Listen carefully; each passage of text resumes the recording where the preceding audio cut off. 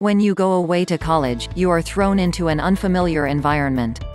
Sleeping in a bed that is not your own and dealing with a new roommate you don't know may be difficult enough, but you can't forget about learning how to eat healthy foods while at college. Healthy eating is important so that you keep the weight off and keep your immune system healthy. It is first important to settle into an eating routine.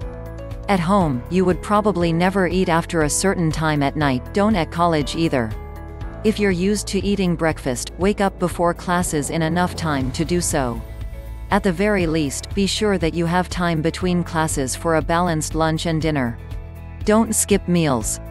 If your schedule is hectic, as most people find, you'll need to schedule time to eat. Instead of grabbing food from a vending machine when you are hungry, plan ahead. Take a healthy salad or sandwich with you to eat if you have class over mealtime. Most professors don't mind if you bring food to class as long as you're eat it quietly. When you do have time to eat in the cafeteria, it is important to make healthy decisions.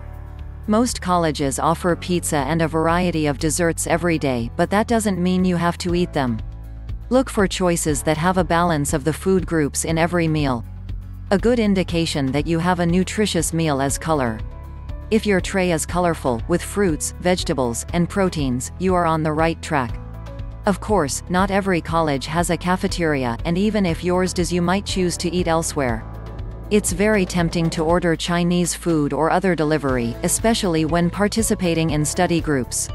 Try to find the best options here and allow yourself to splurge only on special occasions.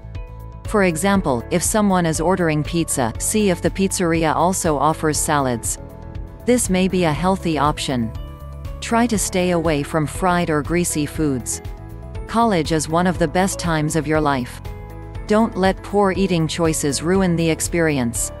You might also want to note as a closing thought that alcohol has more empty calories than most of the foods you can eat at the cafeteria combined. Staying away from it can not only keep you safe but also healthy. Add an exercise routine at a local gym, and you'll never see that freshman 15.